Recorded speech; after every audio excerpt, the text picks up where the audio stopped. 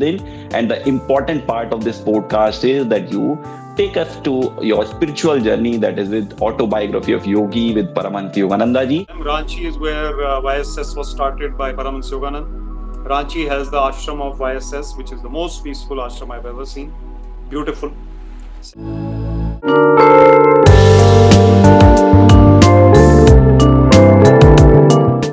Love, and you will never have to work in your life. So today I welcome all of you in this brand new podcast with Vivek Atray sir. Welcome to this Anand platform. Thank you, thank you. How are you sir? I'm fine. Thank you for inviting me. अच्छा लगा मुझे. Great to have you, and we are honored to have you on this platform from an IAS officer who turned from an IAS into an motivational TEDx speaker, mentor, and an author. I also became a spiritually minded person. I follow Paramahansa Yogananda, author of the autobiography of a yogi. So that's how it happened. and that is from where we met uh, there i saw you like a simple person who is meditating simply with closed eyes sitting blissfully so uh, that meditation and spiritual thinking like we are connected i think uh, you you mentioned your favorite book is one and uh, none other book then autobiography of yogi by paramahansa yogananda Yes, those who have not seen it, they can see it's famous. So this is a- amazing sir. Amazing. Thank you for that. And i want to know from you like how that book transformed your life. Is that the book? Because uh, what you are talking about i don't think like it is from like initially like you are born with that. Somewhere some point came in your life. It's like a pinpoint which somewhere make you thought the other way around. Can you take us to that journey? Yes, so it's a very good question. You see, most, let's talk about India. Most Indians are simple, fun loving, cheerful people. Of course, if you're poor, Yeah. if you're poor, you are in trouble, then that's a different matter. But most Indians are, you know, normally they are simple people and they are good human beings, typical, typically. You may have exception, people might think sab kharab hai, ye, wo hai, but it's not like They, generally, you look at the housewife, you look at the clerk who is going to office with his tiffin bag, you look at the little boys, girls who are going to school, you look at the older people who are sitting by the roadside.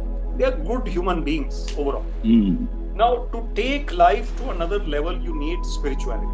Good being good is all right, but Indian scriptures and the saint says a good life, good karma, largely good life could take you a thousand incarnations to find God.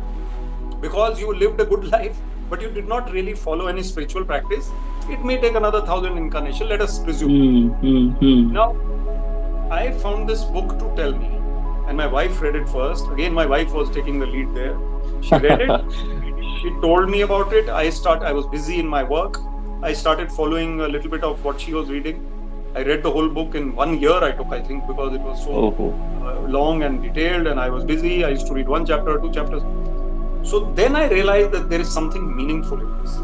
Plus, the stresses of career also started, and I used to go and meditate a little bit, and I got the lessons of meditation, which uh, after reading the book, most people who uh, follow this path of Kriya Yoga uh, set out by Paramahansa Yoganand, author of the autobiography of a yogi, they read the lessons of meditation.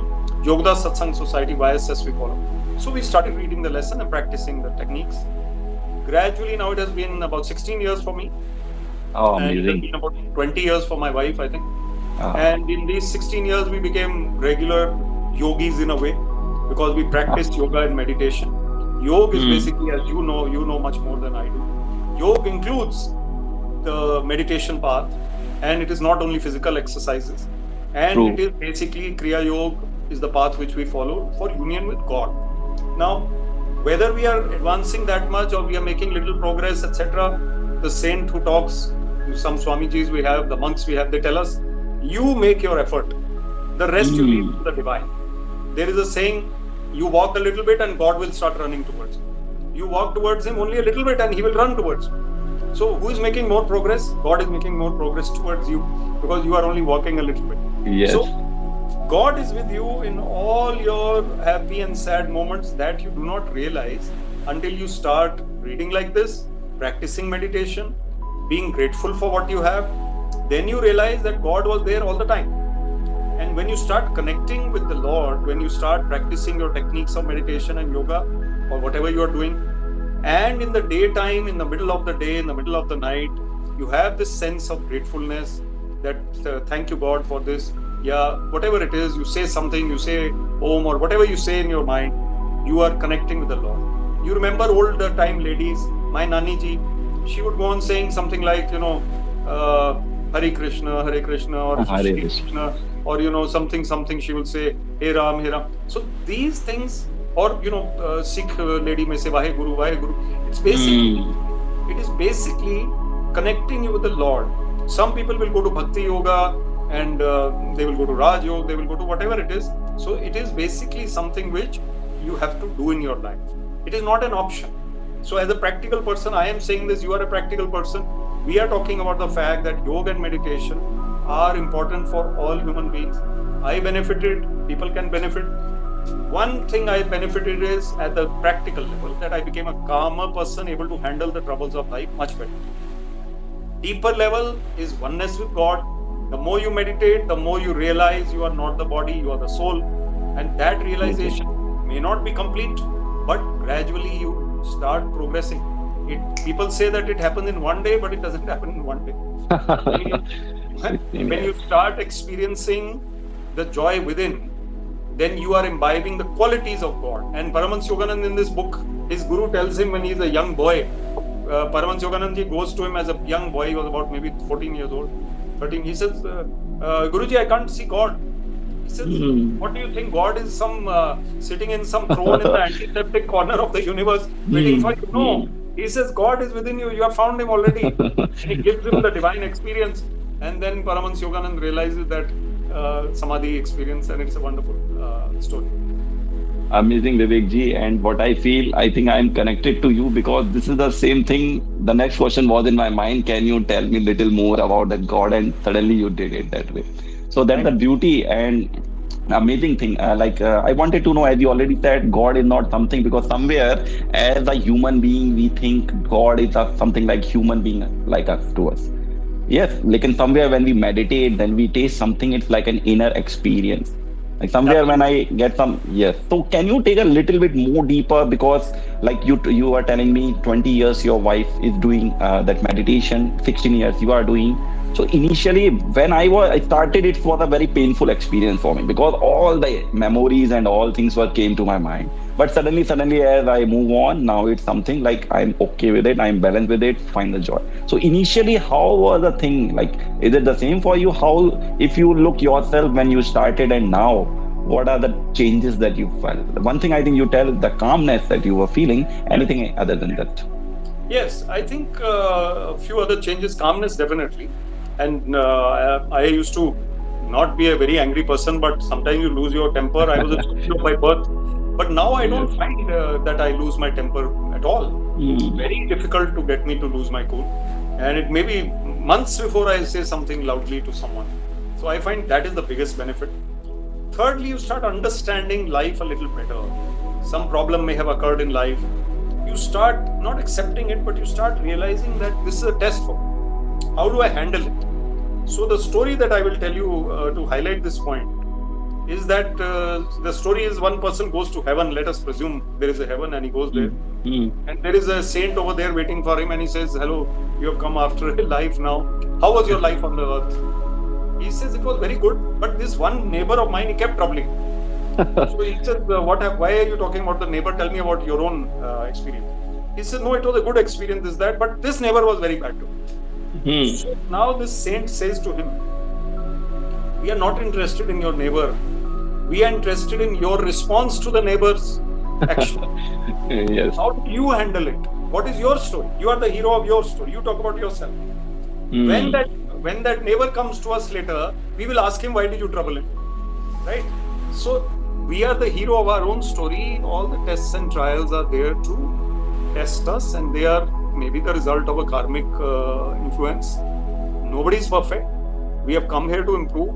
One of our uh, monks in YSS says, ये school है और school से पास होके ही निकलना होता है fail होके नहीं निकल सकते तो अगर आपने स्कूल में बार बार आना पड़ेगा आपको जब तक आप पास होके नहीं तो पास होके कैसे निकलते हैं when you realise God within and when you realise and the other thing that Paramans Yoganand says in this book and scriptures also say when you connect with the divine he wipes out your karma also.